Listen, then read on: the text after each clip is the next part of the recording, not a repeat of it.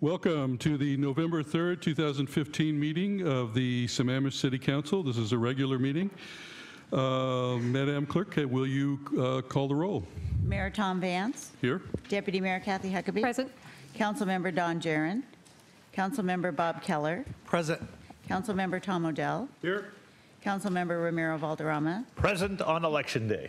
Councilmember Nancy Whitten. Are you here? Duda, I am here. It is my pleasure. Line High School Student Liaison Parkland Neal. Here. And East Lake High School Student Liaison Colin James. Here. Okay. Um, Next, let's have uh, Deputy Mayor Huckabee lead us in the pledge. Oh, thank you. I pledge allegiance to the flag of the United States of America and to the republic for which it stands, one nation, under God, indivisible, with liberty and justice for all.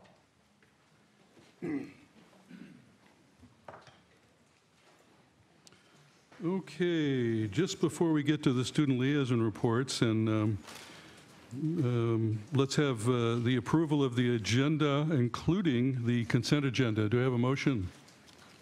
So moved. Second. Okay, uh, anyone? I I Sorry? can do that. Uh, bef- uh, Let's get, it. let's get this done first. Well, I have an inclusion. I had sent some emails that given that Sahalee Way, we've thrown out the decision. I had asked for a- a vote for- on reconsideration of the earlier vote that was thrown out. Well, it wasn't a vote, it was a head nod, as I recall. Um, So uh, I'm not sure what we're I thought there was a vote that was taking place. Well, we, we kind of looked out and said, who's for it, and we kind of did that, as I recalled. Lyman? Uh, We ac- we actually did a uh, a show of hands. Yeah, uh, I guess you'd whether- call that a vote. whether- Whether or not to proceed, and uh, we uh, talked to legal counsel uh, about that, and basically, counsel took effectively no uh, official action of that, so there's really nothing to rescind. So uh, we at just this particular rescind our point. hands? Yes. Well, Lower our es- hands? essentially, Okay. essentially, essentially staff, essentially staff did that for you. All right, thank So you. I think, I think we're, we're clear. All right, Okay. thank you for that. Okay, then I need uh, any other comments or on the agenda? All in favor? Aye. Aye. Aye. Any opposed? Okay. I'm going to start with uh, uh, Eastlake High School tonight and uh, ask uh, Colin James to give his report.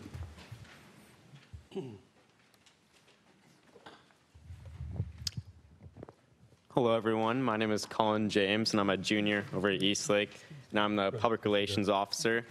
Uh, it's been a great start to the 2015-2016 uh, school year, and right now it's 7 o'clock. Uh, Eastlake High School volleyball team is playing at Skyline against Inglemoor for the KingCo playoffs, and if they win this, they're going to state, which is in two weekends. Uh, football finished the season with a 5 and 3 record, uh, losing the last game, unfortunately, to Skyline, but it was a good game. Uh, girls soccer made it to the second round in the playoffs, losing last night against Inglemoor. Uh, Tiago Bandera, the captain of the tennis team and number one singles at Eastlake, was voted the MVP of KingCo and made it to the semifinals of the KingCo playoffs. Uh, boys golf has two members going to state, Tommy McCoy and Gabe Lyson. Uh, girls swim and dive recently had districts, which were this Friday. There is a fall play at Eastlake, which is 1984, which is on Thursday the 19th until Saturday the 21st. And this Saturday, the annual holiday bazaar will be held. Uh, we will be selling baked goods uh, and other holiday items such as arts and crafts. Uh, and last month, we had our homecoming on October 3rd, uh, and we had a record-breaking 817 tickets sold. Uh, this was a school record, and one thing that you can depict from this amount is that it's an odd number, and we're changing the status quo from you need a date to go to the dance, and people are deciding to go to the dance by themselves without a date and having a great time. We're changing the status quo from that, and I think that's a great thing, changing the school culture at Eastlake. Uh, instead of homecoming king and queens for the dance, we have uh, homecoming heroes. And so basically, what we do is we elect someone that we believe represents the school or repre- represents each grade. And so we elect uh, three people for uh, throughout the school. We have three awards, which one of them is called the North Star. which everyone votes for someone that they believe leads the school. The Rising Star Award is where juniors and seniors vote for sophomores and freshmen, and it's awarded to someone that they believe they can leave in Eastlake in good hands. There's also the Shooting Star, where freshmen and sophomores vote for the upperclassmen, the juniors and the seniors, and it's someone that they look up to. And in between the grades, there's the Parent Wolf Award, and it's someone that each class believes that's someone that they uh, believe leads the grade. Uh, the Wolf Farrell Award is the comedian or the class clown of each grade, and the Kind Wolf is self-explanatory. It's the kind, someone that eh, they believe is kind within the grade. And we wanted to break away from the uh, king and queen idea because, because we thought it was a popularity contest, and we thought we wanted to include everyone, and we thought we should recognize the people who are doing good at the school. Uh, we'll be hosting tomorrow our first food truck event at lunch, which will be called Meals on Wheels Wednesday. And so we will be having Buns, which is a gourmet burger vendor. They'll be selling tomorrow during lunch at 12:40. So anybody's welcome. Uh, we'll be having volleyball in the gym, live music played by Eastlake students. And if you want to stop by at around 12:40, you're more than welcome. Uh, in leadership, we have two students, uh, Ben uh, Lathwell and Eli Corvo, who've been making like hype videos, recap videos, and uh, sports sports reel videos. And this has been creating a lot of school culture, culture, and really getting the uh, school environment really positive. We've been showing these, and like recently, we've had a lot of these coming out, which like just makes a lot of great school p- culture. And at Eastlake, we're allo- we're allowing them to excel in their passion and excel in that area and allow people, if they have talents in that area, to excel at Eastlake. Uh, is there any other questions that uh, Mr. Mayor or the council has for me? Oh, hey, do we have a question? So I have a question. You had mentioned that if Eastlake wins against your brothers at Skyline in volleyball, they go to state. Is the- the converse also true? Uh, so they're playing uh, Inglemoor at Skyline for the. Okay. And so if they Okay. win, they go straight to All state. right, Yeah. thanks. Okay. Do we have another one? Anyone else? All right, thank you very much. Thank you. Okay, next we have Parkland Neal from Skyline High School.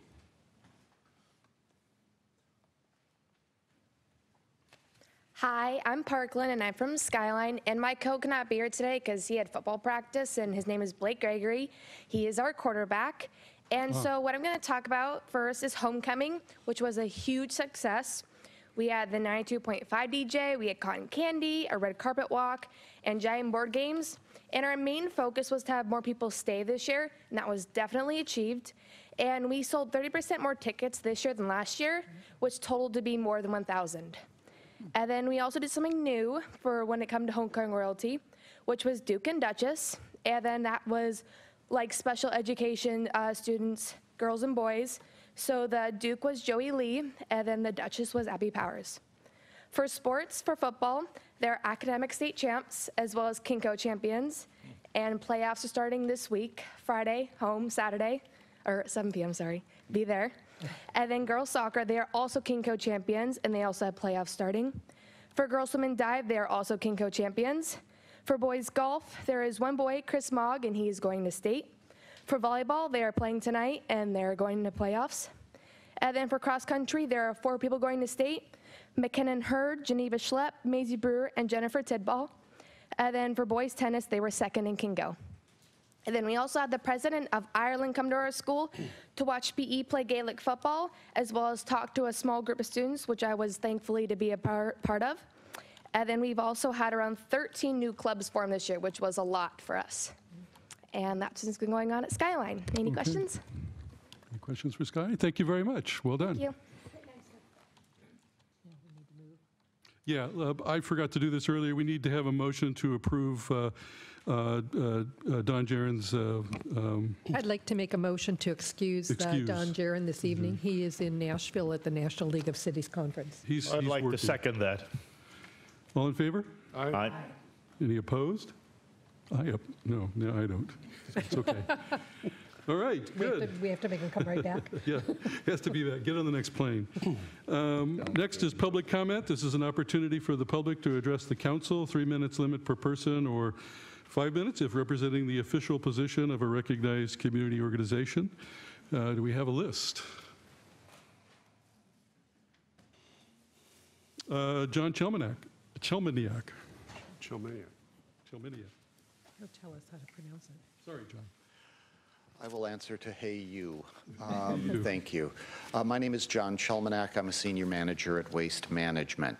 We've provided you today an analysis that shows that our offer to the city meets the policy objectives of the city council. The city wanted service at the absolute lowest possible rate, and Waste Management provided that for each and every option that you can choose. Our bids range from 4.5% to 9.4% lower than Republic. The city, in this case, is literally choosing a form over substance. We believe strongly that the RFB asked for an incremental increase of the yard waste options, not the total increase. And we showed that on the bid form. We did, however, also show you the other corresponding number, the same one that Republic used, so you can do the math. Our bid was totally transparent. It was completely responsive to the city. And here's the most important thing. Whether you use the higher number on the form or the lower number on the form, the rates that we show you don't change. We're still the lowest. Here is what would have changed. The cumulative amount of the bid based on adding together mutually exclusive options. You can only choose one yard waste option adding them together gives you a false sense of who might be the low bidder. The flaw is not the way we filled out the form. The flaw is in the logic of the RFB and what amounts to absurd math used to determine the low bidder. The unintended consequence of this methodology is that you may award a bid to the firm that has provided the highest bid, not the lowest. Waste Management asks you to take some time, reconsider, and we ask you to do the math and see if what I'm telling you is true. If what I'm telling you is true, we believe that we are by far the low bidder and that we are the responsive bidder. Thank you very much, and good luck to those of you who are standing for election tonight. Thank you, and good luck to you as well. Um, For the election. I won't get involved in the other thing. Yeah, we are talking about that. Uh, Barry Wichter. Hello, my name's Mary Wichter. I live at 408 208th Avenue Northeast in Sammamish. Tonight's lucky 13. That means for the last seven months, I've spoken in front of you 12 other times. That may seem like a lot, but we started having drainage issues when things were cleared in 2003, and they continue through this year, so that's 12 years. So every time you see me for three minutes, you can think of that as a year. I wanted to talk a little bit about Tamarack subdivision size tonight. This is a merged plat, it's a two-page plat, and it measures a mile across at the top, and where the drainage would run vertically, that's four-tenths of a mile. So since I was a farm girl, I learned that, you know, a little bit less than half a section of land is 200 to 300 acres, but that isn't really meaningful to a lot of people, so I thought we'd look at it another way tonight. If we take an aerial view, this is Sammamish, obviously. Tamarack is highlighted there in yellow. Um, There are 210 lots, of which 170 homes have been built. The easiest way sometimes to see how big something is is compare it to something that's by it. So if you look at Tlingit just below us to the left, that's 28 lots. Next to that is Edenview, which is 30 lots. Up the hill, uh, sort of across, is Montage, which is 59 lots, about the same size as Greenbrier, which is just a little bit south of that. And then the newest subdivision, which is adjacent to Tamarack, is Barrington. Barrington is 44 lots at the top of the hill and currently being constructed. So if you look at all of them, 210 lots for Tamarack is approximately equal to five of our subdivision neighbors. So I just wanted to give you that in perspective for the number of times and the number of issues we've talked about in our area. Tamarack was originally platted in 1964 without stormwater. The five subdivision neighbors all have stormwater surface solutions. And if those didn't work well for you, there's a subdivision called Camp over at Southeast 20th and 228th. That's a very large subdivision currently being built with 121 homes. But you have to take that number and multiply it times one and three quarters to get Tamarack lots. And I think all of us here tonight would not like to see the Camp subdivision done without any drainage or piping or detention mm-hmm. pond. So I'm here tonight to say drainage is very key for Tamarack, and Tamarack is very big and sizable. 170 homes have been built, there are 40 more to go. Last time I spoke, I showed that there was 15 to 31% slopes in our area because we're off the top of the hill. We're also a critical area with landslide hazard. Drainage issues did begin in 2003, which is over a decade ago. They occurred with original clearing and grading. There were some code violations that happened, but there's also been a number of engineering designs looked. There have been 40 homes approved to be built in the last 15 years, and 25 of those occurred during the height of the housing market. So again, Tamarack has drainage as a very important issue. There are other homes currently wanting to build, and we're hoping that you will continue to support us in our seeking of getting surface stormwater solutions for 2016 and have them implemented. Thank you. Okay, thank you. Uh, Jeff uh, Borgida?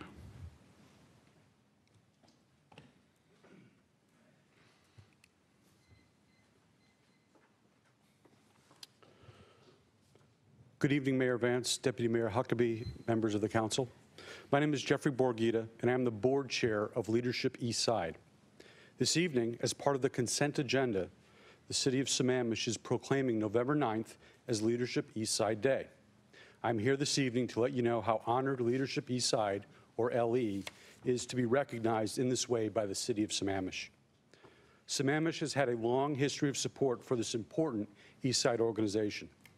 City staff and residents are graduates of our Leadership Development Program, and we've welcomed your active participation and engagement at our annual Mayor's Forum. We eagerly look forward to partnering with Sammamish as we bring businesses, nonprofits, and cities together to collectively plan a future that works for the whole East Side. Next week on Monday, November 9th, we celebrate our 10-year anniversary and introduce our new 10-year strategic plan at the Partnering for Eastside Futures lunch. And we're excited that many of you will be planning on attending. I will look forward to welcoming, welcoming you. Again, thank you for this wonderful honor and recognition for Leadership Eastside. Good evening. Thank you. Okay, Nancy Anderson. That's my plan.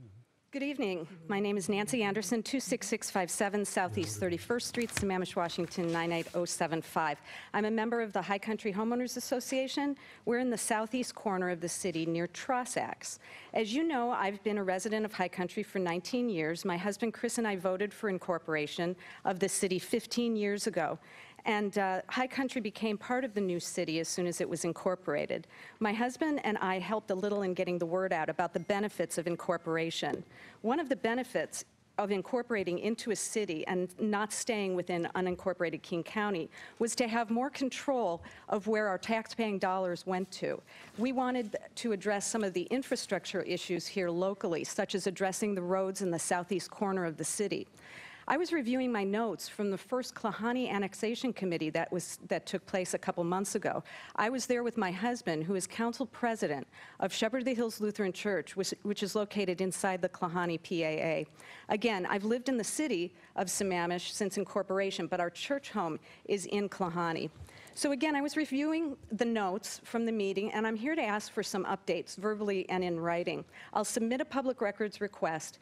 Um, recently, there was some confusion over one of my public records requests. I was told that I had to um, go directly to the state agency um, in order to get a letter that was submitted uh, to King County by the city of Sammamish. Now, I was a little annoyed by this because I worked for a state agency, for the UW in Human Resources. I sometimes had public records requests. If, if I wrote something like a letter, then I provided the record to legal for review. So I'm hoping that Mr. Larson, who told me I had to go to the county for a letter written by the city of Sammamish, won't happen again. So here's my two requests. I'd like some follow-up regarding a comment made by Ben Yazici at the first Klahani Annexation Committee meeting. It was a brilliant idea. There's a section of Southeast Issaquah Pine Lake Road that is part of Issaquah, the city of Issaquah. It's a, it's a pretty small stretch of road, but it's going to get in the way of addressing the road problems uh, right near the intersection of Southeast Issaquah Fall City Road and Southeast Issaquah Pine Lake Road. So uh, Mr. Yazici had a brilliant idea, which was enter into an interagency agreement, if that's what it's called, or inter, you know, between city agreement. Interlocal agreement, perhaps? To interlocal, thank you. And so then um, we as a city can then take care of that road. And I don't know the mechanisms for it, so uh, that, that's a side thing I'll research later. But, so I'd like some follow-up regarding Ben's, uh, Ben Yazici's um, suggestion. I think it's a good one, and I'd love, I haven't heard anything in city council meetings about the follow-up. My second request is this. I'd like the documents relating to the city of Sammamish's response to the Growth Management Planning Commission's suggestion that the Duthie Hill Notch Road be um, entered into in the same relative way that Ben Yazici had suggested. I understand the city of Sammamish re- rejected that, and I'd like to see whatever was in writing that addressed the Growth Management um, Planning Commission's suggestion that in order to fix the Duthie Hill Road um, and Southeast Issaquah Falls City Road, that we could just enter this kind of agreement. Thank you. Thank you. Can I ask Lyman that the council be copied on that? I'd like to see that as well. Certainly, we'd be happy to do that. Thank you. We will treat uh, this evening's request as a public record request, so you don't need to uh, follow up with, with uh, the city clerk. Okay. Anyone else for public comment tonight? Anyone else for public comment? Third time. Anyone else? Public comment is closed. Thank you. Um, Next, we have council committee reports. Yes, we do. We Yeah. have consent agenda because you didn't include it above. Yes, I did. Yes. I did. I did. It's not on the agenda, okay. It- It's, but I verbally asked for that. Um, Yes, council committee reports. Let me see. Do we have anyone for that? Deputy Mayor Huckabee? I have two very brief. I listened to you carefully. I warned her yesterday. Thank you. He said, "Don't wander on." And you, and you sent some very nice, helpful information too. and I- Right, which is all good. Yeah, very great. That's about as long as my report. Uh, At the October board meeting, the the leadership of the board recognized that the 2015 goals, which the staff and the board worked is on, which staff and which goals? EF and R. E and R, okay. Thank you. uh, recognized that the 2015 goals, including the financial policies, which had never been in place, were largely compete- completed, and it seemed a little bit silly to go to a retreat and do another set of goals uh, that would not be very meaningful. So the recommendation was that it- rather than having a goal-setting retreat, the agency undertake a strategic planning process that would probably last somewhere between one year to almost two years to address long-term governance, facility, financial, and other issues, uh, starting with a SWOT program. A subcommittee, including Mike Boyle, Mary Pauley, Kathleen Huckabee, and Don Smith, were appointed to look at a process, and that will be presented to the board at the November meeting. I attached uh, to your document, I don't have the strategic plan, the page two, attached to my document here, so I don't know if you received it. Um, And that has been sent out to Greg Tryon, John Wiseman, Wes Collins, and Alan Golfa for their review and comments uh, prior to the November meeting. Okay, that's my report for EPER. The second report I have deals with the Regional Transit Committee. Uh, We had a meeting on October 21st, and at that meeting, we had a very high-level review of the newly revised long-range plan, which is due to go to the county council in December.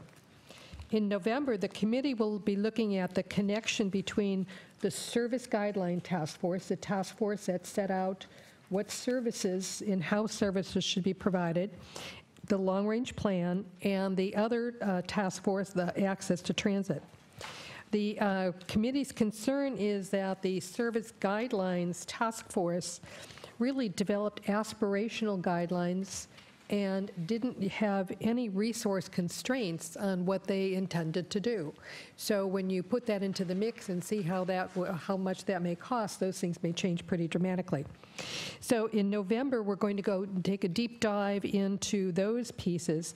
But in December, we'll be looking at creating a clear statement of long-range policy goals. So the time is very short for any input into the plan. And we were told that Metro had stepped up outreach. They're meeting with and engaging cities to learn about their individual comprehensive plan. And we've had major changes to our comprehensive plan that they don't have or know nothing about, and our transit goals. For example, uh, I mentioned that Redmond is looking at creating a partnership whereby Metro would operate a 19 to 26 passenger van inside the city. Uh, Currently, Andrew is also attending meetings. Andrew, our city engineer, is uh, sharing information at the TAC meetings. Uh, That is the, uh, uh, the task force for staff. Lyman is in the process of trying to set up a meeting between the county and the city council on November 10th. That didn't work out. And That's the day that the Transportation Committee would meet or the city council will meet. But we are trying to get another date set up in November so we can get our ideas built into this long-range plan in a timely fashion. So, Okay, thank you. Councilmember Keller. Okay, very brief. Uh, First, just an announcement, there's going to be, a this is for E- uh, Eastside Fire and Rescue. Um, The fire chiefs, they're going to have a retirement luncheon for him on November 19th. That was the confirmation. Oh, Where will that be? um, in any case, at the headquarters, Okay. at headquarters.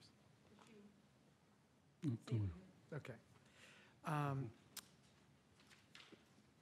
There must have been a reason why. What? The- Okay. Okay. Uh, The next thing, the uh, Personnel Committee, I sent an email out that basically gave everybody the dates uh, of what the process is for the, um, uh, the fire chief's recruiting efforts. So I'm not going to review that, I'm just going to tell you that tomorrow, actually, the Personnel Committee is meeting, uh, and they're going to be talking about the panels that will be interviewing it, and uh, possibly the people that'll be involved in it. There's going to be three panels of individuals, technical team, uh, an internal team, and then the Personnel Committee. The three different panels will be interviewing uh, the applicants. So that, um, that's EFR, those are the only comments that I'd make there. Um, the, um, I'd like to just make one comment that um, there's a pre-pick workshop next week. And it, the pre-pick workshop is on low-impact development and municip- municipal stormwater permits.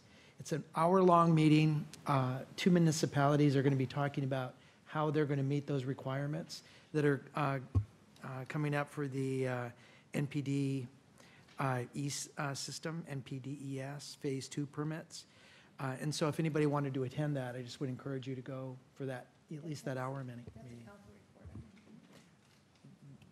Well, it's, it's pre-pick, you're right. It, it is out of, it was out of the pre-pick package, so I thought I would add that. That's really the only comments that I had at this point then. Okay. Great, thanks. Anyone else with uh, co- uh, committee reports? Councilmember Odell. Thank you. Um, As we heard earlier tonight, the uh, Sahalee Way uh, decision is under review. I want to remind everyone that tomorrow evening at 7 o'clock, there is a public meeting dealing with the Sahalee Way project at the Boys and Girls Club. I want to uh, be sure I say that uh, no design concept is final yet. We have looked at different options, uh, but nothing has been picked yet. So if you're interested in this project, uh, please come and uh, give us your input on it. 7 o'clock at the Boys and Girls Club. That's all I have, Mr. Okay. Mayor.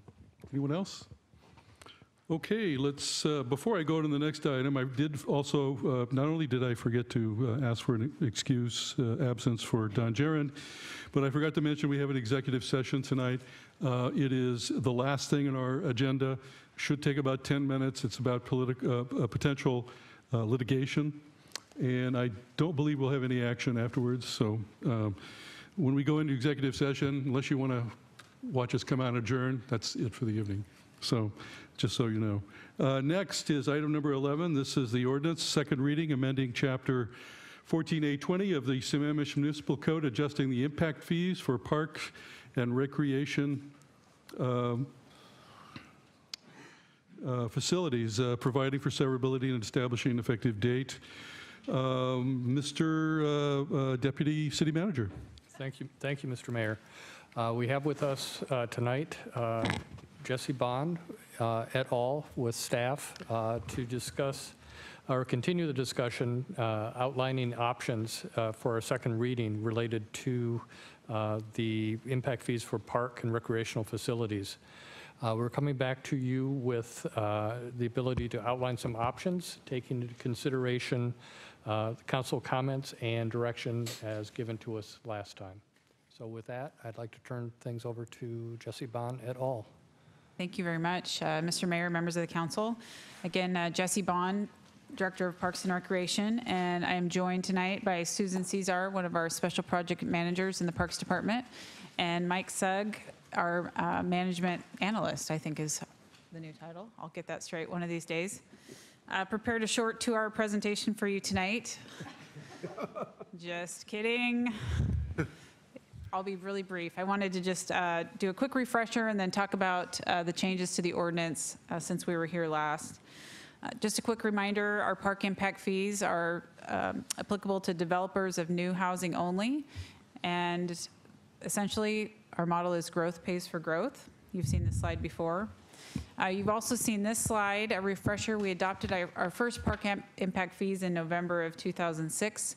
We've had two amendments since then, although we have not gone back and um, updated the fee. We we did a minor inflationary adjustment, but not a a fee adjustment since 2006.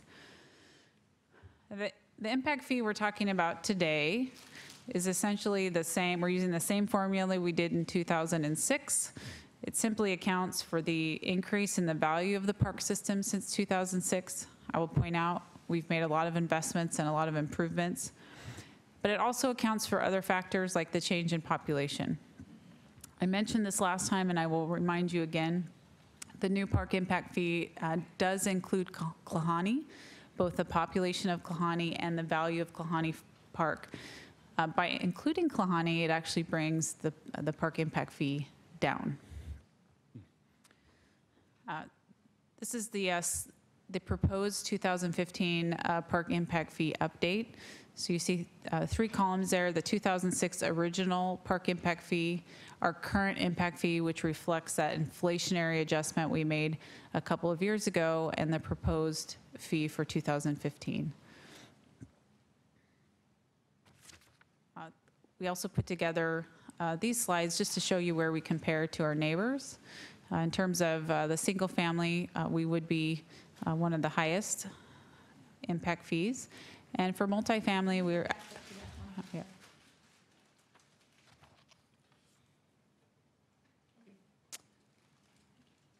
And for multifamily, we're um, just behind Issaquah. Okay, so to get to the heart of the matter, last time we were here, we talked about a couple of different strategies for implementation. Uh, We presented them as options to the council and anticipated you might choose one. Actually, you chose all of them. So we've, uh, uh, we've, we've prepared an ordinance that reflects um, all of these options. Uh, The first is a fee deferral, allows for collection of fees at a later date, actually upon closing, and Susan's going to talk about these in just a minute. Uh, Short-term exemption for builders with a signed purchase and sales agreement. I will note that when we last talked to council, I had head nods on both of these options. Uh, The phased-in fee increase, however, we, we did not have consensus, I believe. Uh, So what we've proposed um, is certainly for your consideration and discussion tonight. Uh, As I mentioned, the draft ordinance has been, in- has been revised, the ordinance in your packet to incorporate all three of these items. And I've had a couple of questions regarding the effective date. So if adopted tonight, the effective date is five days uh, after publication. And we anticipate um, the effective date would then be November 11th, 2015. So I'm going to hand this over uh, to Susan, and she's just going to go through uh, these options in a little more detail. Okay, the first one um, is the fee deferral program. And as you'll recall, we had previously this program in effect, and it did um, expire December 31st of 2014. Um, This was a successful program. Uh, We had a little over 200 uh, lots that took advantage of it. All but about seven have already completed their uh, agreements, and those seven are just, have not yet sold. So we haven't had any issues with non-collection. Um, And you'll also recall that there is a new state law that will require us to have this deferral uh, program in effect eh, no later than September 1st of 2016. So in anticipation of that, and given the discussion on October 19 and 20, we went ahead and uh, reinstated that program in the ordinance, and we also made some minor changes so that it would comply with the new state law, so we would not have to go back and re-amend. The next, um, uh, well, this is continuing on the fee deferral, and how it would work is essentially the way it did before. Um, The the changes are that essentially it would apply to multifamily permits as well as single-family, and that is one change that's responsive to the new state law. The state law also has an 18th month, 18 month is the maximum period of deferral, so we've put that into the ordinance as well. Um, The same as the previous program, it would require recording of a covenant against the property, and the payment would be made automatically through escrow upon closing of the, of the home. Um, Another provision that the state law allowed for was that the city can initiate foreclosure if the fee is not paid. Then um, the council also talked about an exemption for builders that have an existing signed purchase and sales agreement prior to the effective date of the ordinance. So that's been included in your draft ordinance. Um, The change that we made uh, in response to council comment is that there would be also requiring an affidavit uh, that would come in with the signed purchase and sales agreement uh, that indicates that indeed it was executed prior to the effective date of the ordinance. Uh, It's also a limited uh, term of extension or of um, effectiveness of 60 days to still allow those purchase and sale agreements to come in for building permit. Uh, Council also asked how many could possibly uh, qualify for this exemption. Um, We, as a city, don't normally know for sure of when there's a private purchase and sales agreement, but we do have a very good handle on how many potential lots are out there. And so we, we took a look at what's in the system, and there are 45 lots that are in plats recorded in the last 12 months and have not yet received their building permits.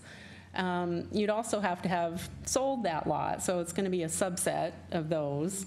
Um, And we do know also that currently we're issuing approximately 15 single-family permits per month. And based on all that information, the best estimate would be that it would apply to a limited number, probably 25 or fewer lots. Um, And it's also a limited term, 60-day. And added to that, you- if you've, if the builder has sold the home, they could come in and apply for the building permit in any case and pay their fee at the time of application.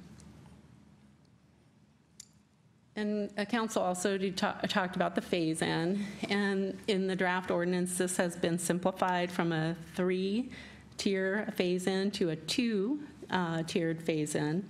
And the date that the um, 70% would be effective to would be July 1st, 2016, whereupon it would uh, go to the 100% uh, full, full fee increase. Question was, what does that mean for revenue? So we've crunched some numbers and took a look at how many permits. Um, So there are some assumptions, and these are estimates, uh, but they're, they're pretty good. We took a look at what we got for uh, permits in the last 12 months and projected that forward. And so these numbers assume for approximately the eight months through June 30th of 2016, that there would be 121 single-family units and 34 multifamily units. The first column there is the percentage uh, of the fee increase that would go into effect upon adoption. And in the ordinance, it's the last one there, 70%. The next column is the total revenue estimate during that time frame, And the third and last column is the revenue difference um, based on that particular percentage of fee phase-in.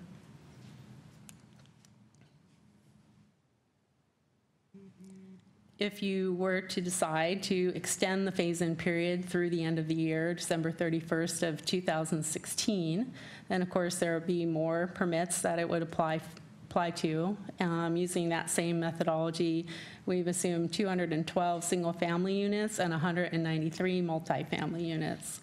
Uh, Set at, the table is set up the same way with the percent increase in the first column, the total revenue projection in the second column, and the revenue difference based on that phase-in uh, for a longer period of time is in the third column. Susan, could you go back to the prior slide for a second? Thank you.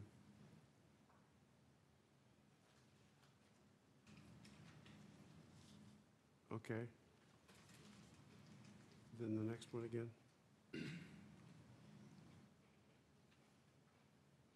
So the differences, uh, of course, on these are based on the longer period of time for the phase-in period.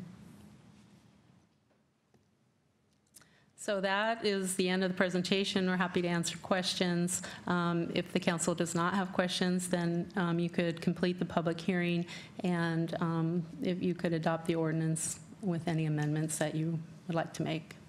Okay, thank you. Any questions? Count- uh, Deputy Mayor Huckabee? Yes, why were those particular dates selected? Um, The date of July 1st, 2016, as opposed to maybe January 1st of 2016, and then out another year? Actually, I can uh, point to the meeting that we had with Master Builders when we talked about dates that made the most sense. Uh, We understand July 1st is when the building code. Jessi, I can't hear you. Oh, sorry. Uh, We had a previous meeting with Master Builders, and uh, I know Mr. Hoffman is here in the audience tonight. He pointed to July 1st as being a, a date that is known to builders because it's when the, the building code changes, and that that would be a good opportunity. um, It's a known date, it's a standard time of change in the building world. Right. We also have to take into consideration the staff impact of something like this. Uh, When we have a phased-in opportunity, we anticipate folks will be working hard to, to get their material in before the increase. And this, this timeline allows us also to be responsive as a staff. If, if that timeline is short, we are concerned about being able to process, you know, the rush, i- in theory, the additional rush that may occur. So uh, this is a staff recommendation. Beyond that, this was just kind of the sweet spot that we pointed to. You're not necessarily recommending the fee deferral, or rather the fee phasing, it's just these dates work for you and for the master builders. I, I don't feel comfortable speaking for master builders, but I, I would reference a conversation we had about the July 1st date, yes. Uh, Councilmember Odell. I'm sorry, I'm sorry, Councilmember Keller, then Councilmember Odell. Thank you. I, I really appreciate the effort that you put into, in the estimate of how many units, because looking at the total dollars that we're talking about helps me um, really see the size of, of this. I'm wondering um, if we could put a cap on this.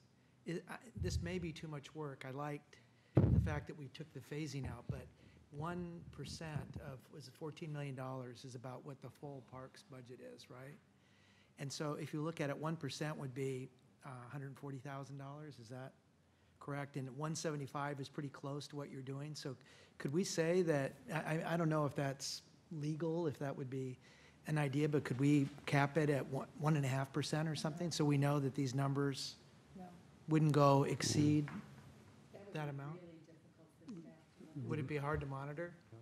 It would be. I think it would be uh, very difficult. I think there's a legality issue. Yeah, Hold hold on. We got sued one time when we started allocating building permits. Kathy would remember that. I think you have to have a clear law. And it, it doesn't work. You That was can't back in do things 2005. like that. Okay, so, so that's fine, if, if we can't do that, that was just a thought. I, I- I like the work that was put into the numbers, if you feel very confident about the estimate of the numbers. The other question I would have is, um, can we add something in here that says we're going to re, uh, review these either annually or whatever, wi- a frequency that would be uh, adequate for the city?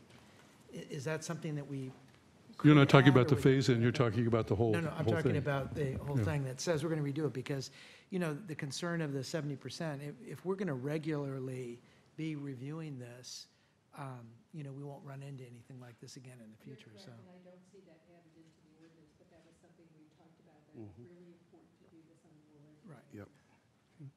Uh, uh, Deputy, uh, Deputy City Manager, I was going to say Deputy Mayor, but, you know, you're, you get Well, paid you more were money looking than this she direction. does. so- Uh, Yeah, actually, actually, we did have uh, a discussion with several members of council as well as staff, and uh, what we have proposed doing uh, is actually incorporating this uh, every biennial cyc, budget cycle.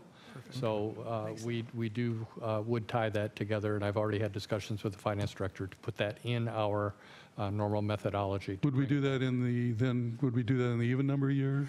Uh, We would do that in the even number years for the odd number, starting each odd number year, so every two years. uh, Okay. Do that next year as we're preparing the 2017. bu- mm-hmm. Budget. Mm-hmm. So Okay. it'll be effective for the 8 to 17 budget. Okay. Yes. And I- I just would add, there's a nice nexus because the Parks Capital CIP is also updated. So theoretically, the impact fees get updated, the Parks CIP up- gets updated, the budget gets adopted. So it would be a nice sequence, mm-hmm. yes. Councilmember Odell? Thanks. Jessi, somewhere in here I saw an 18-month number for deferral. Uh, That's a maximum number? Correct. So if the property is sold and occupied, at that point, be- the amount becomes payable? Uh, I'm sorry, if the, If the property is sold and occupied prior to 18 months, correct, the due, the amount becomes due at that point, yes. At closing, at closing. at closing? Okay. Um, If it's not sold, then it's due. It's due at 18 months. This, got it, okay. Uh, Is there, has there been consideration of possible games being played on selling of lots that are involved in this by, say, some builder who has multiple LLCs, sells a lot from his first LLC to his third LLC, and then goes back to a second LLC to keep things going here? It is 7:15 at night, and I am totally not tracking that. Okay. Uh, There, we have this deferral in here for people who are, have a contract, okay? Well, this is what we're talking about. Hold hold on, let him, let him finish what he's saying, and then Uh, you can respond. If someone uh, qualifies for this deferral, if you will, because they have a signed contract to build, and then something happens, they turn around and sell it to another LLC, and then s- they in turn sell it to a third LLC, are we running the risk of keeping the clock running here? So let me make sure I understand it. I think you're talking about the exemption for a signed purchase and sales agreement. Yes, I am. Uh, Potentially, there is, uh, there is potentially a loophole there if someone were to s- sell, I think what you're saying is Party A sells to Party B just to record a purchase and sales agreement to meet this exemption. Yeah, We're, we, as administrators of this, will be looking for the signed purchase and sales agreement and the affidavit. We will not be able to police who, who is the buyer and who is the seller. Am I saying that correctly, Mr. Kenyon? I'd like to hear from the city attorney on that subject. 7:15 at night, and I'm totally not tracking. Quote of the night? Uh, I, I, I I would, I would say that Councilmember Odell raises a fair point that it is possible to game the system, but I think it's not likely to occur. You know, the- the- the odds are small, and, and the November 11th, 2015 date means that game's got to get started pretty darn quickly here. So if you can form a new LLC in a matter of hours. but People could rush out and do that between now and November 11th. If council had a specific concern about that, uh, we can make an emergency effective date in the ordinance, and it would be effective tonight. Y- y- You're next, but just hold. Um, Tom, you want to respond to that first? I guess my concern is that, uh, seeing as there are a number of situations where LLCs have been folded up to avoid legal liability issues, we could see the, this issue on that side as well. But uh, my, uh, my concern would be that uh, somehow this develops into a loophole that is in the category of unforeseen consequences. I guess I'm just looking for the uh, skunk in the woodpile here. Yeah, I, I, I would agree with you, Councilmember. It is possible for the system to be gamed between now and November 11th. Mm-hmm. Uh, Again, it's not possible if the council uses an emergency effect. But at the worst, it could probably only happen once. Yeah, Likely was, okay. very It would not be a major issue. Not be a material impact on the total Okay. impact fee revenue, I would say. Okay. And uh, finally, uh, on the issue of, uh, we were deferring for a while, then we snapped back to the point where we're not deferring as of, I think, January 1st, 2015. And now, uh, as of sometime in 2016, we then go back to deferral again. So we're, what are we doing today? Are we collecting the stuff up front today? Uh, I'll Go ahead and answer that. Um, Yes, right now in our code, that deferral option has expired, and so now someone can pay their fees upon application for a complete building permit or at issuance of the building permit. And I, excuse me, I w- I would just remind council, the reason uh, you- the city did that was to help the builders through a very tough period of Mhm. time when we had the recession. Uh, And we determined that uh, the economy was coming back, people were pulling building permits, and it was no longer necessary. Uh, The state looked at what Sammamish did and uh, saw that, in, in their opinion, it was a very good thing, it was good to do, and they extended uh, it to uh, basically make it a mandatory offering for all cities, uh, regardless of the economy. So it's another option for the toolbox for the builders statewide now. I understand that. I was on the AWC Land Use Committee when we went through this, and I un- completely understand the logic of what we're doing then. Uh, The problem is, the way the impact fee structure is set up today, uh, supposedly you have development and facilities occurring in parallel. What we've set ourselves up here for, though, is a lag, where you get development first, and then facilities are catching up. And to me, that seems uh, counterproductive here in a- in a fashion. But if the state law is the way it is, then I guess we're, by the end of 2016 or so, we have to adjust. But we've already snapped back for the first year. Supposed to be questioning of staff. So do we then advance it now, or do we do it when we're mandated to? Let's, let's, yeah, let's keep this, uh, it's a good point. We'll keep this at the question level and at the deliberation level. Uh, Nancy?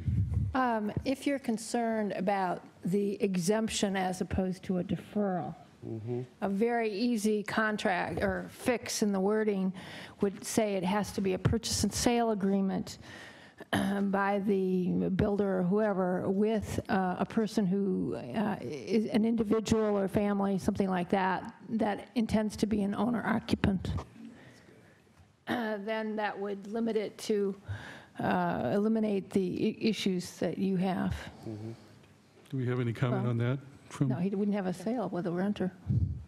So, I'm asking Mike if he can, uh, um, I, I don't want to legislate something that significant from the floor. If it's something council wants us to, to, do- wants to do, I think we'd need a little time, Jessi and I, to go, you know, think through that, come up with some language. I mean, and I'm not, not arguing with Councilmember Whitten at all, but it'd be difficult to, to come up with language tonight without having the time, for example, to, s- to, uh, that would be tight enough to address the intends to be owner-occupied point of Councilmember. or it could be even an individual investor, but who has no ties. It has to be somebody who can certify under oath in an affidavit that uh, they meet whatever criteria. It could be an in- individual investor or something, but it has to be someone who's not related to the builder. So the LLC problem. If that's something the majority of the council wants to see, we can come back with something in a couple of weeks at at your next meeting on that. But we need some time to, to write tight enough language to get to that. could we add that on to what we decide tonight, if we decided to go that direction? It- I mean, we have, we're in second reading tonight, so Yeah, and I, you know, I would hesitate to try to write something tonight that I would recommend, you know, sitting here tonight, that I would recommend you adopt, because I, I suspect it would have one or more holes in it. Okay. It's not a small change. Um, Can I ask a question of staff now? Yes. Um, Uh, Jessi, in, in terms of this exemption for pre-existing purchase and sale agreements, um, is there a reason you chose 60 days rather than 90? I- mean, to me, you know, if it's a pre-existing contract, the, the builder is locked into a fixed price. And I'm concerned that Well, let- let's keep this at questions. uh, Well, but I'm concerned about there being a long enough period to get the word out to the small builders who might be involved, and was thinking that 90 days, because the harm is going to be there, and it's not something they can hopefully uh, get around if there's, at least un- not under oath, if it's pre-existing. The exemption was intended to be short-term. I don't see a problem with it being 90 days, if that's council's pleasure. Staff, staff also has had discussions with how do we communicate with the builders, particularly the small builders. Mhm. And uh, the community development is uh, very much aware of the need to get the word out. So they're, they're formulating strategies to actually do that. So I guess I would like to um, see this change to 90 days, Uh, well, excuse me. Okay, and then on the um, phase-in, um, I understand there's some logic for the end of June date, um, but i- i- do you see problems if the date were shorter on a phase-in? The only concern that was shared with me by our community development staff was allowing them enough time to process the additional applications that will be coming in due to the pending fee increase. Um, I'm, I'm really concerned, uh, you know, there are some builders I think are wonderful, there are some builders where their projects leak in- into Pine Lake and things, and I'm not real excited about giving them an advantage. Um, I would think, I would prefer a shorter date uh, for a phase-in. If the only thing you can think of is um, that there may be a lot of permits, it may take longer to process them, um, but they'll be still locked in. and- Let- Let's not deliberate here, so um, hold that thought. Okay, thank you. Any other questions from Councilmember Whitten? No, it Deputy was Ma- the- Deputy Mayor Huckabee? No, actually, Councilmember Whitten asked most of the questions I was interested in hearing. Okay. Thank you. Great A- Any other questions? Okay, well, let's uh, open the public hearing then, or I should say, reopen the public hearing. Uh, I have a list, it's not a long one. Uh, Mr. David Hoffman.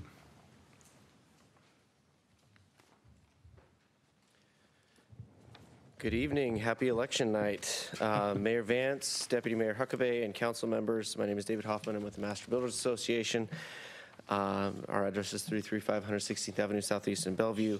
Appreciate your time tonight. I sent a letter over email earlier this afternoon. I'm sure that most of you probably did not get a chance to um, take it all in um, before the meeting, uh, it being a busy day for all of us. Um, So I'm going to uh, take a few minutes now um, to go through some of the points of that letter and kind of read through uh, through that because I took a lot of time to think about um, the comments that I'd like to make and um, leave it for you to discuss afterwards. So the latest park impact fee study results in an impact fee of $6,739 per new single-family home. That is one of, if not the highest park impact fees in the state. Um, As you may recall, my comments on the evening of October 19th addressed ways to manage the negative impacts of the park impact fees threefold increase. Our association understands and agrees with the concept that growth should pay for growth. Our concern is not necessarily with the amount of the fee, although, as with every impact fee proposal, including school impact fees, transportation impact fees, and parks, we have diligently examined the fee study to ensure state law has been followed. Our worry with this proposal is that our members who have reached, our members who have reached certain points of no return in their building and construction projects will be unduly harmed by a threefold increase in the park impact fee. My hope is that we can find a path forward so that the updated park impact fee can be fully implemented in an even more expeditious timeframe than the current, than currently proposed, while reducing administrative hurdles for city staff and making way forward for our members who are caught in the middle. The ordinance before you includes language that would bring the city into compliance with state law for delayed collection in advance of the September 1st, 2016 deadline, largely, largely keeping in place the city's former adopted uh, deferral program. We fully support this provision and appreciate the expeditious manner by which the council and staff are making that change.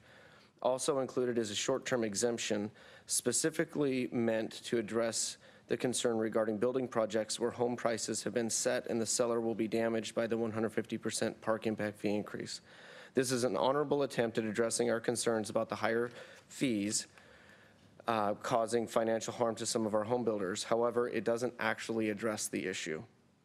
Finally, in a responsible attempt to introduce a dramatically higher impact fees in an expedited but gradual fashion, the ordinance introduces phased implementation by which 70% of the new fee would be due from the effective date of the ordinance until June 30th, 2016. The following day, July 1st, which also coincides with the new building code implementation, the park impact fee would be increased to 100% of the adopted amount. Home builders understand the July 1st date, as I previously said, because that is the day when new building codes go into effect. Aligning the park impact fee phasing with the building code implementation makes sense and would hopefully reduce the administrative burden to city staff, as they have also commented on.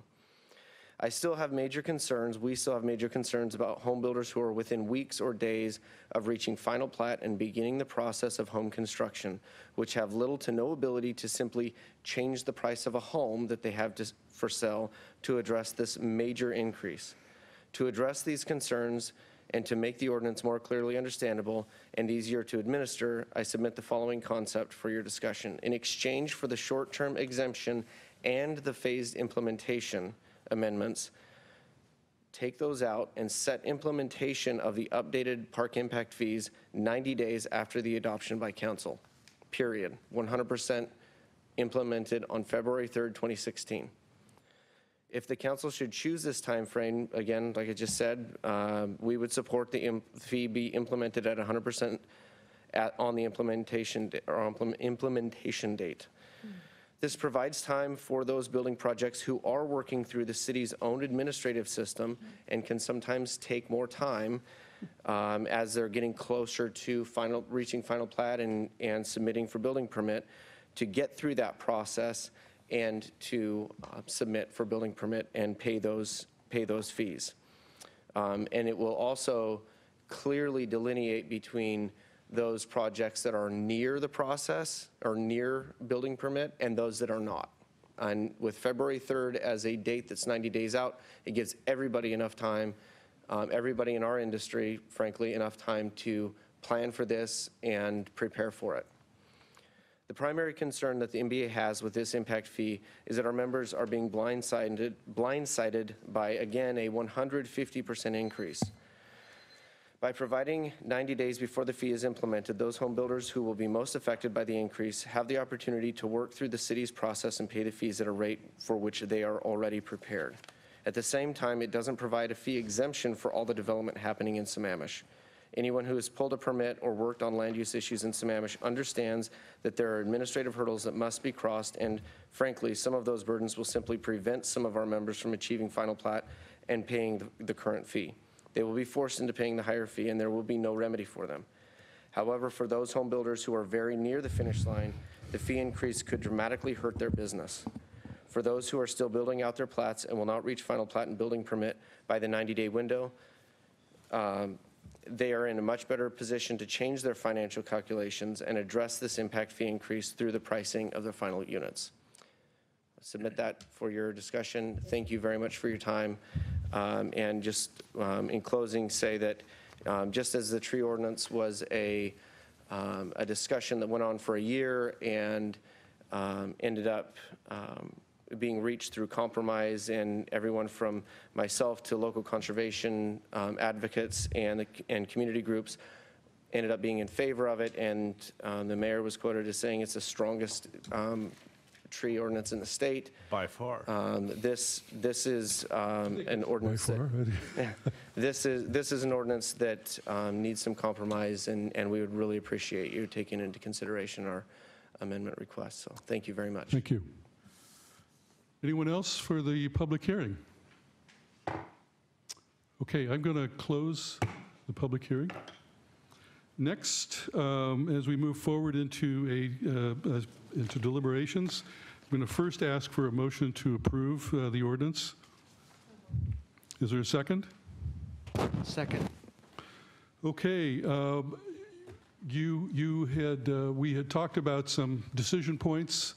Uh, I think we need to look at, um, look at them in a, in a, in an order. I think bef- before you had up um, uh, the three, three things in a row, it might be useful to have those back up in front of us. So, Tom, we're going to vote to- on them separately, like fee deferral, get them off, and Yeah, I think if we go through those three issues, uh, one of which, we you know, we have to do at some point, anytime, sometime before next September anyway, uh, but at least go through those, those three issues, we'll probably be in a position to approve the whole ordinance. So um, first was the, uh, the the fee deferral.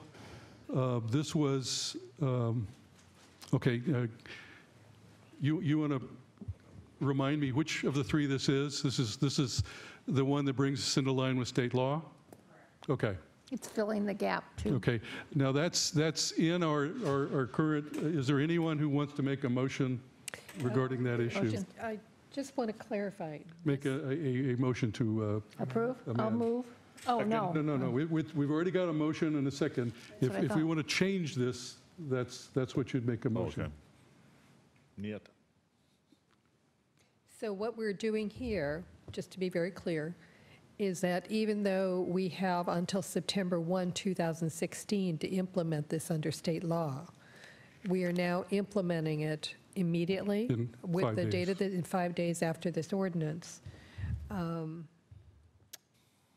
I just wanted to make sure that that was ex- exactly, because I was, Right. I was looking through here, it wasn't entirely clear if that was the case. That is Okay. correct. Okay, Thank you. on on this issue, are there any motions? Yes. Councilmember Odell?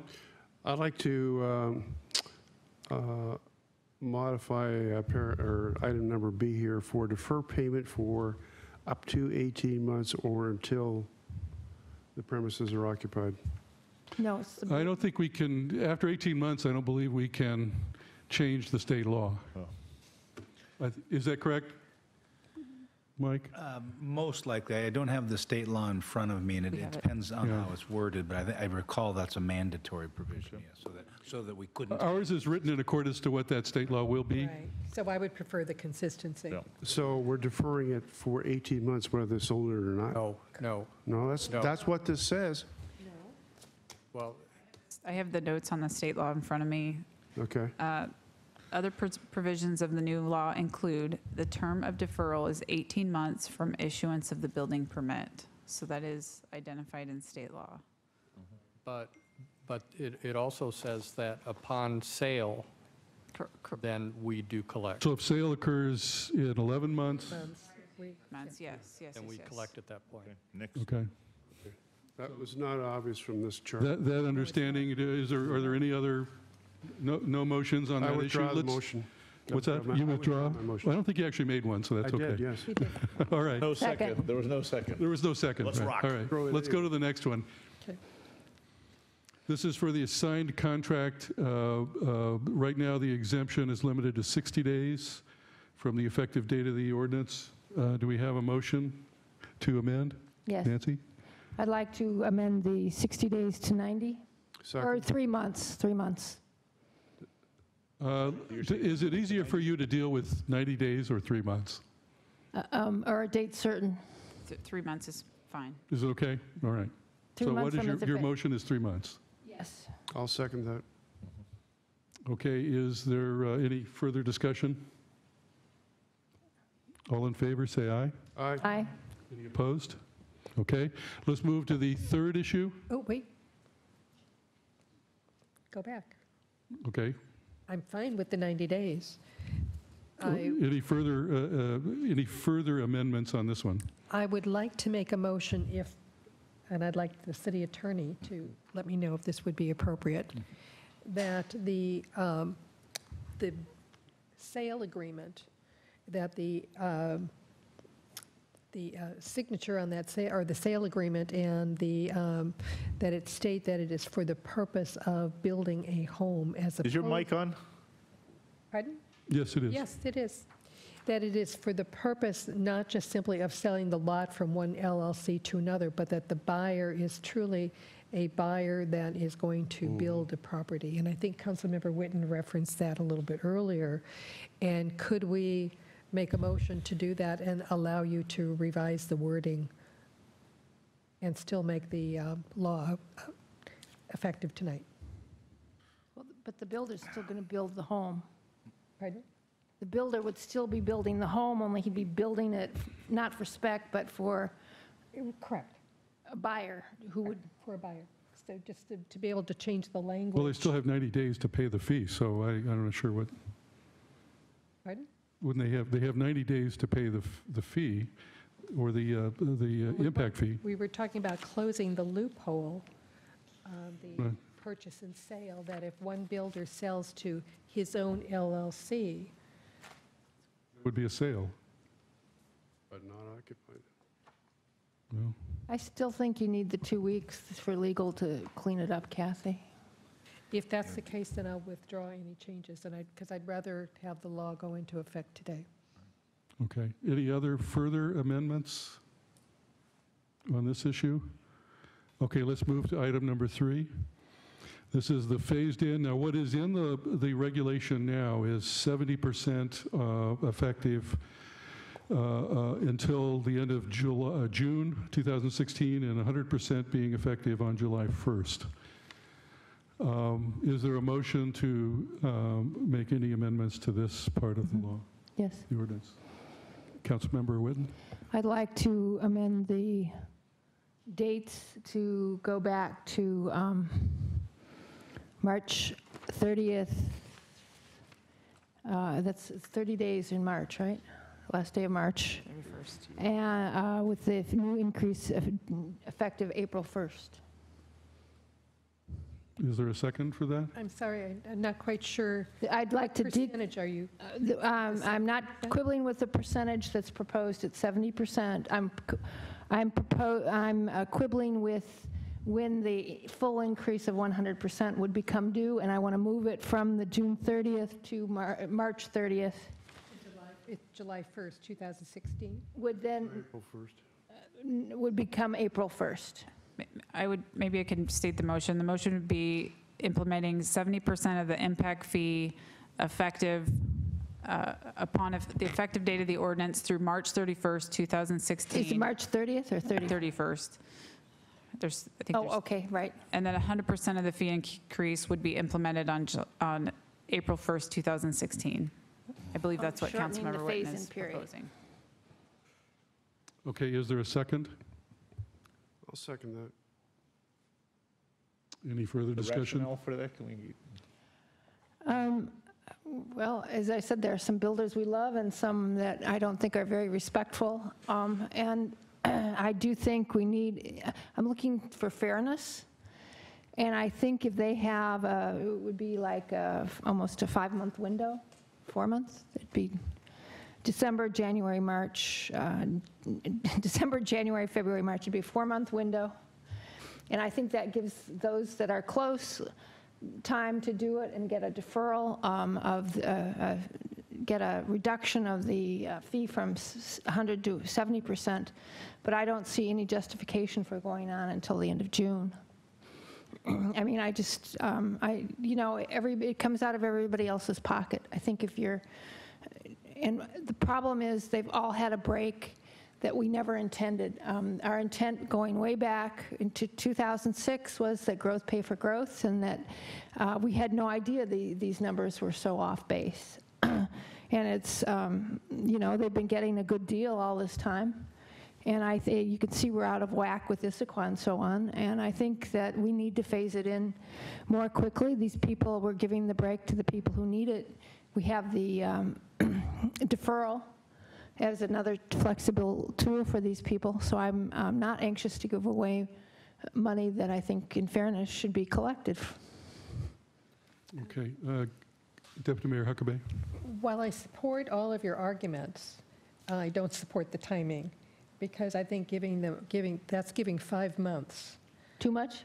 I think that's too much. I would, I would think 90 days or three months I'd most. support that. So uh, would you accept a friendly amendment? I think Yes. that's No, I appropriate. thi- I think you have to make an amend, uh, you have to amend her amendment, and you Yes, have you to get a second, and you have to get, Okay, then I would like to make a motion to change the amendment to make the 70% impact fee effective as of February 1st. I'll not second April that. 1st. As of February 1st? Yes, Not- because then not it's immediately? November, December, January. You get three months. So, Actually, less than three months. Little No, it would be February if it's three months. Pardon? It would be end of January and February But 1st. one one of the issues that we, can I ask, uh, one of the issues that we had was staff dealing with a rush of, of applications. Uh, This, this cuts it from June, well, July 1st to March 1st, I guess. My feeling is that the longer you extend it, the larger the rush will be. Yep. Right. Do- Do we have a, any thoughts on that from staff? You know, I'll be honest with you, it's, it's difficult for us to anticipate who will finalize plats, who will be ready to submit, submit building permits. I think to Councilmember Huckabee's point, we're going to experience uh, some sort of a rush regardless of the timing that you Okay. Choose. Do we have a second for Councilmember uh, Huckabee? Seconded. You did second it, okay. Uh, This is an amendment to the original amendment. Uh, Any other further comments? yes. I'd like to. Uh, yes. Councilmember, let's go to Councilmember uh, Odell. Uh, When we looked at the uh, financial calculation on the suggestion, if you want to put, up- put that up, I- I'm sorry, Councilmember Dove, can you repeat that? you had, you had a calculation of the effect of, yes. yes, that one. It showed that the phase-in impact is 75, 70%, uh, as proposed to June 30th, carries a cost of $175,000 to the city in lost revenue. I'd like for us to keep us this kind of information in mind as we are uh, debating whether or not we're going to do it in June 30th or 90 days from now, because we are giving away money. Uh, Which is why I made the suggestion that we do this earlier. It's very hard to go back to the community and say that growth pays for growth. Uh, There's a large concern that our taxes are very high, and we've just written out those checks just recently to pay them. And one of the reasons that people move here is because of our parks. Okay. And we haven't shared that. feedback. Councilmember Keller? Yeah, my, I- I understand the feelings over this, and we're, we're picking numbers out, um, uh, you know, for the dates. Uh, But the reality is, in five days, we're going to double the fee. We are going to recoup twice as much money as we are right now, five days from now, if we vote for this, no matter what date, if it's March or April or June. We're going to, we're going to receive twice as much money for impact fees as we, as we are right now. That, that's what's going to happen. And so, you know, we're, we're looking at the 175, it might not be 175, that's, or it could be more. That's why I was asking about the, could we cap this? You know, could, that way we're protected uh, on the, you know, on the high side if all of a sudden there was a rush that we didn't expect. So I would be happy with the June, uh, the way this was actually presented. I certainly am sympathetic to the April. I actually had a shorter period of time myself written down, but I, I actually think March, since we're doubling this anyway, my question would be, are we talking about enough money that, would it be better for us to be in alignment with the processing of the permits as discussed uh, earlier on that June 30th date? For the amount of money that we're talking about, would it be worth us to just wait until June? Or um, is that going to be an administrative burden if we went to April? Well, did Mr. Hoffman say April? No, he, he only- he wanted a different, We now have a motion on the floor for February. right. That's what I'm really addressing right now is February. Okay, so we, any other further thoughts on the uh, amendment to the amendment? But, but can she, a- could you answer the question about the alignment? It doesn't matter if it's March or April. Uh, This question about the administrative work. you know, again, it's, we're making some assumptions about, you know, to, to reach these calculations. The volume, when the permits are going to come in, it's really difficult to pinpoint, it's going to happen on this day, and this is going to be cause and effect. I believe there will be an, an administrative impact in the short term regardless of the date you choose. And I, I see uh, Deputy City Manager has a Deputy Ma- comment. Deputy City Manager, you have a que- uh, There- There will, comment? there will be an impact. However, uh, I think staff, if they know what the date is, they can actually prepare for that uh, potential. So uh, we'll keep that in, in mind as we do staffing and also uh, work with our contractual relationships uh, for additional help if Okay. necessary. One thing I do want to point out, when you have plats that are not recorded yet, they are going to require, require council time. So we need to factor in your availability as well. So we have some plats that are not recorded but close. Those have to come to you to be approved. So there is a city council step in this equation as well, which That's fine. Okay. All right, let's, uh, let's go to, we have an amendment to the original amendment, which is, uh, makes that date uh, for the 100%, what date are we? 90 days. February 1st. February 1st. Wait, but it was January 31st and February 1st. There's two. Uh, uh, Yeah, f- uh, February 1st would be 100%. Would be 100%. Right, and it- Correct. Okay. So All right, it's through- It's through Through January 30. 1st. 31st. February 1st would be the uh, 100% date. Okay, all in favor of that amendment to the amendment? Say Aye. aye. Can you raise your hand? It's a little hard to.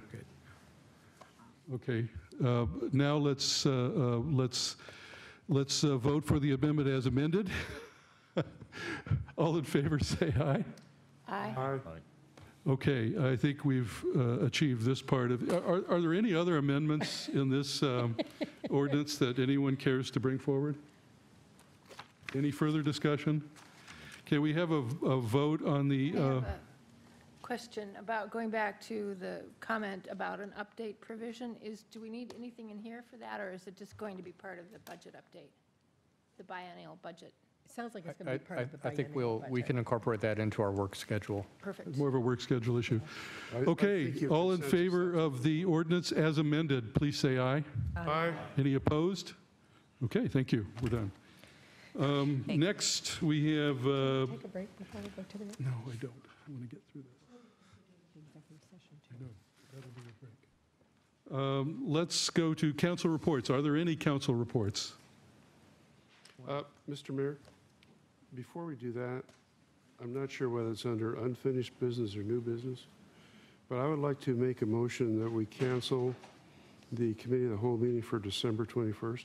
Yes, that happened because our first meeting in December is on Tuesday, and so typically our uh, committee of the whole meeting is the third Monday, so it got put in as the third Monday. I think that's how that worked. Uh, We have a motion to cancel that meeting on the December 21st. Is there a second? Second, Second, third, but are we going to have one on the 14th then? We would have to make that decision right now. It's th- both, both potential, there- uh, there's nothing scheduled for those days, so. We There's ha- we nothing are- scheduled for the 15th. There's nothing so it's scheduled for the likely- 15th either, so there's a chance that that will be canceled as well. Oh, Or So- we- we don't know at this point if we have Yeah, budget we- or some other things. that we I I think it's, to it'd be wise to keep the 15th on our agenda in case something comes up, and, but a- a- all in favor of, uh, of that uh, motion? Aye. Any opposed? Okay. Council reports. Anybody got a council report? Councilmember Keller. Yes, just a quick comment. Uh, Sammamish Citizen Corps uh, held their Info Hub exercise this last weekend, and uh, Lyman and I both uh, um, made it around the town to uh, actually look at the, uh, the actual hubs, the emergency information sta- stations is really what a hub is. Um, And um, frankly, I was pretty impressed with the people that gave up their Saturday to actually do this specifically to help our uh, residents, so uh, that was nice. And they were supported, these centers that they put up throughout the city by the ham radio operators. So it was really based on communications uh, and information in emergency situations, so uh, it was really a great activity. Thank you.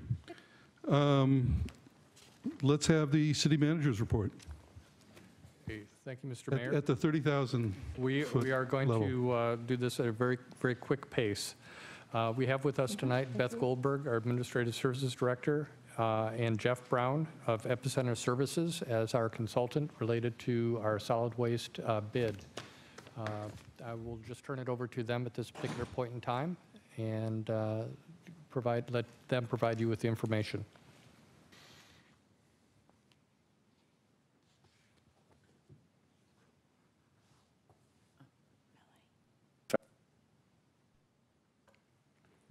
Okay, sorry about that. We were having a little uh, technical difficulty. Uh, My name is Beth Goldberg. I'm the Director of Administrative Services. Um, And I will um, quickly go through this presentation. Uh, Jeff will be presenting some of the slides. The purpose of tonight's presentation is to give you a status report on where we are with our solid waste uh, collections contract.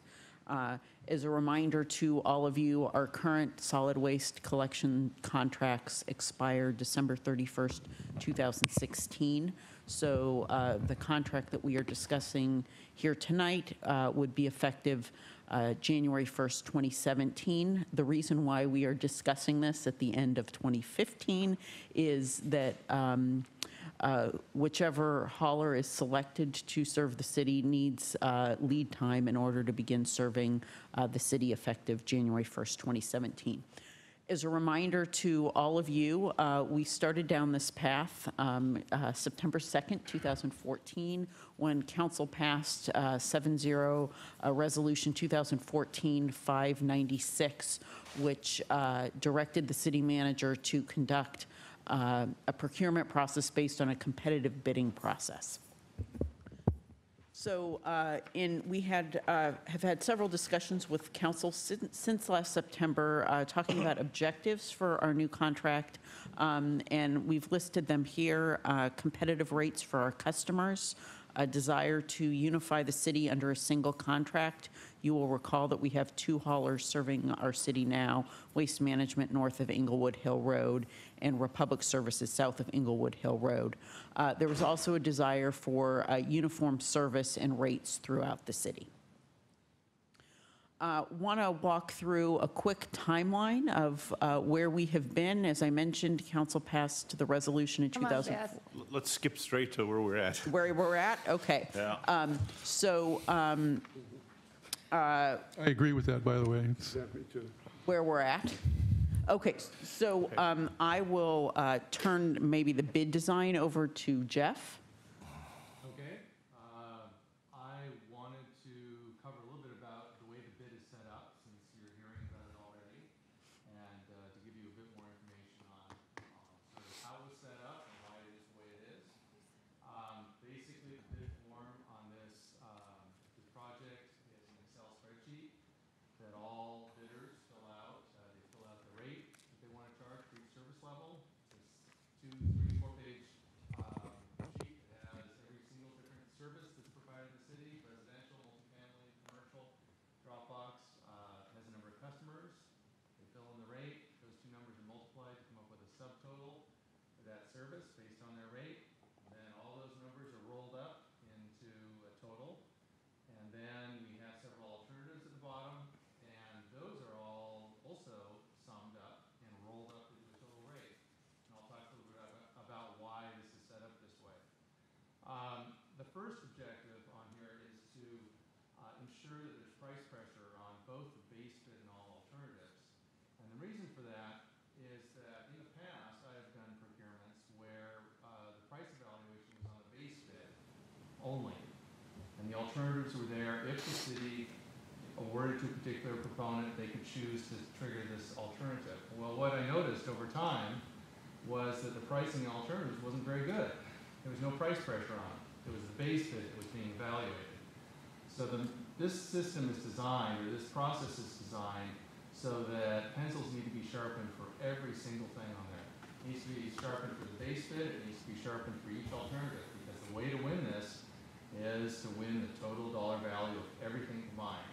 So uh, that was actually the critical difference here. Uh, and the idea was to give you some attractive pricing on the alternatives so that when you make your decision, you you'll have the best numbers possible. Uh, and that includes like embedding yard debris or some of the different variations we had. We wanted really good pricing for everything. Uh, another factor, uh, and again, this is a little bit of history just in procurements, is uh, we roll all the numbers up because there's a lot of uh, temptation in some procurements. Where you're not doing that to cross-subsidize, come up with little lower residential rates in order to have higher commercial rates, and that way when you bring your rates forward, you can say, hey, but look, my rates are lower over here, and don't look over there, by the way, those rates are higher. I'm not saying that happened here, I'm saying it was one of those situations where in designing the process, you want to design it so you neutralize any incentive rate shifting around. You know, we're looking at the total dollar value of all services and all alternatives provided. And it doesn't benefit uh, any bidder to shift costs around between sectors or between base bid and alternatives or anything else. Another thing, um, the third thing that's up there is ensuring the certainty of outcome. One of the issues with designing uh, solid waste collection um, bid evaluation or, or rate evaluation is that uh, you can sometimes come up with a situation where one hauler has uh, a lower base bid and then alternatives one and four combined give you, uh, that hauler would have the cheapest cost. Well, the other hauler has a slightly higher base bid, but they take alternatives two and three, for example. They'll come up with a lower number than the other one. And so one of the problems you have is trying to come up with a process where everybody knows what the outcome is, everybody knows what the rules are, and the city can't be accused of selecting alternatives in order to pick a particular vendor as the lowest price. So one of the issues here is to say, here's the rules, we're gonna take all the numbers and roll them up into one total, sharpen your pencils on everything, and come up with the best deal you can for everything. And that's the aggregate number that we have, and that's why it was set up that way. Um, and it also allows for an apples-to-apples comparison between bids. Pretty important to have consistent, um, consistent instructions and consistent, uh, interpretation of instructions on how the form gets filled out, that the form doesn't get changed at all.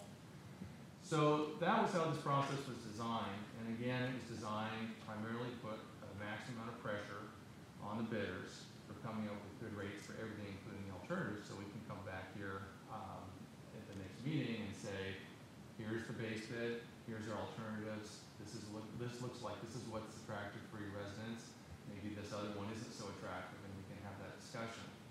Um, So basically, uh, there was another question on the bid design about how you, um, how you look at the numbers on the bid form.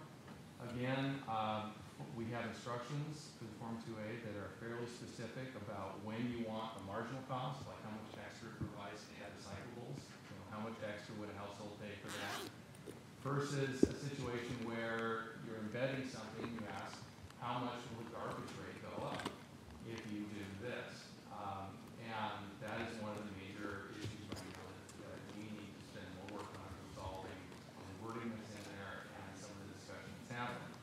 But, um, we're very aware of that, and we've been through a number of these situations, and, uh, I should say in other cities. And, um, we'll get to the next steps, but our next step will be to go back and review, um, the letter and review the instructions and have a discussion and, and bring back, uh, a more detailed evaluation of this. Okay. At at this juncture, uh, stay tuned. Yes. Uh, That's the bottom line. Uh, We did receive a uh, letter from Waste Management uh, asking us to do some uh, consideration of their position, uh, and we will take that into consideration, and we will report back to council uh, at the next meeting or the meeting thereafter, uh, depending on how much time it takes. Okay. All right. Uh, Next up, uh, thank you very much, by the way. Next up, we we do have an executive session. Our expectation is it'll take about 10 minutes. Minutes at the most. Yes, let's go and uh, do that. And we will be adjourning afterwards, so.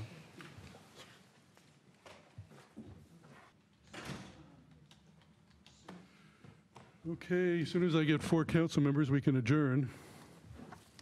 Kathy, you want to join us? Can I have a motion to adjourn? So moved. Is there a second? All in favor? Aye. We're adjourned.